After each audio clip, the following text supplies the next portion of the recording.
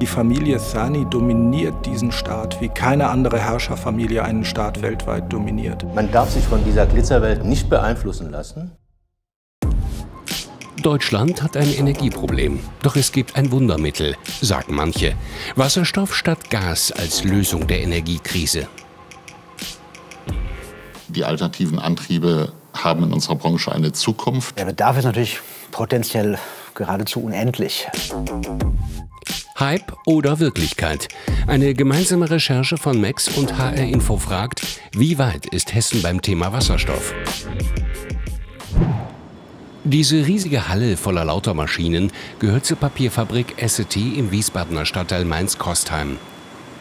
Und nicht nur das 500 Grad heiße Trockenföhnen des Papiers, ganz am Ende ist energieintensiv, erklärt uns Essity-Geschäftsführer Thorsten Becherer. Eine der Papiermaschinen verursacht nach den Daten, die mir vorliegen, ungefähr 1% der Emissionen der Stadt Wiesbaden. Allein das Essity-Werk hat insgesamt vier dieser Maschinen.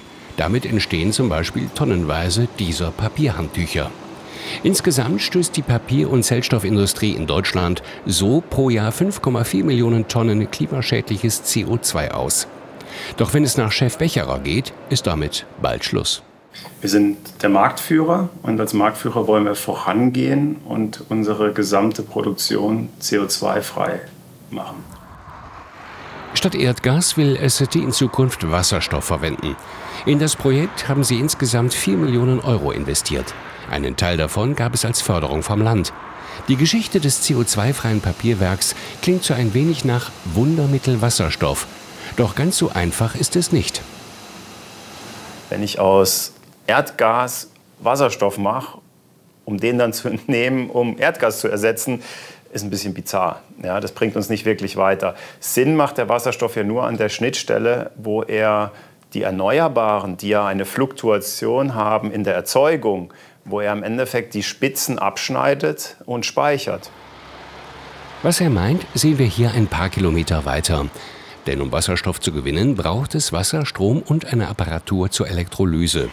Nur wenn der Strom aber aus erneuerbaren Energien gewonnen wird, handelt es sich um sogenannten grünen Wasserstoff, der nicht dem Klima schadet.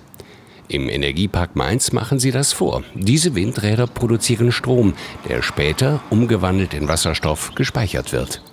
Zum Einsatz kommt der Wasserstoff zum Beispiel im öffentlichen Nahverkehr, erklärt uns Jonas Eichinger von den Mainzer Stadtwerken. Wo wir schon substanziell Menge absetzen, ist an der äh, Bustankstelle in Wiesbaden, wo die Mainzer Verkehrsbetriebe mit den Wiesbadener Verkehrsbetrieben zusammen eine Betriebstankstelle errichtet haben und auch inzwischen schon elf Wasserstoffbusse im Einsatz sind. Doch Wasserstofftankstellen sind in der Praxis noch die absolute Ausnahme. Dabei werden sie gebraucht. Max in Fulda bei der Spedition Zufall. Ihre schweren Lastwagen können bis zu 40 Tonnen transportieren.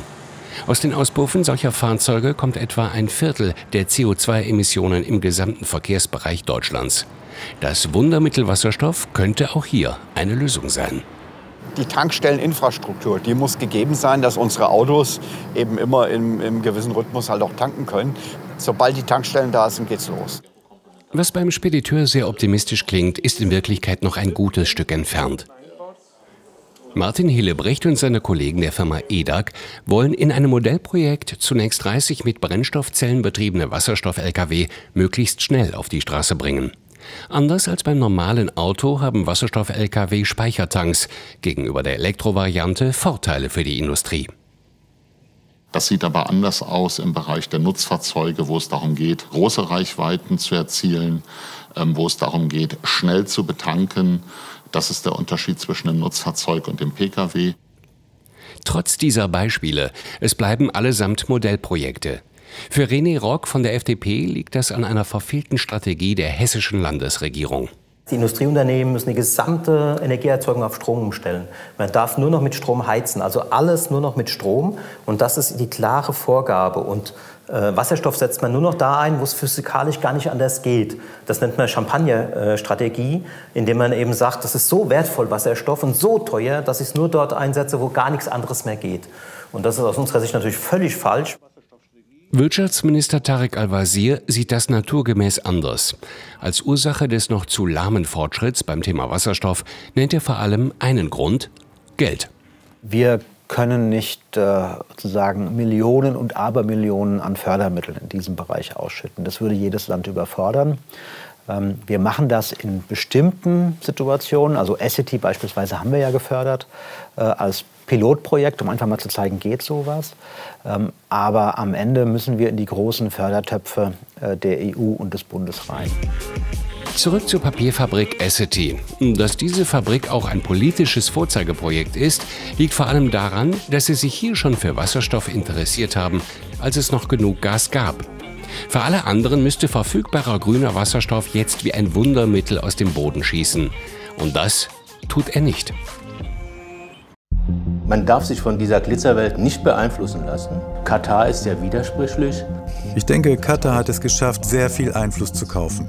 Und wenn sie einmal angefangen haben, ist es sehr schwer, das wieder zu stoppen. Katar ist tatsächlich der Weltmeister im Aufbau von weicher Macht. Katar hat damit genau das erreicht, was es wollte.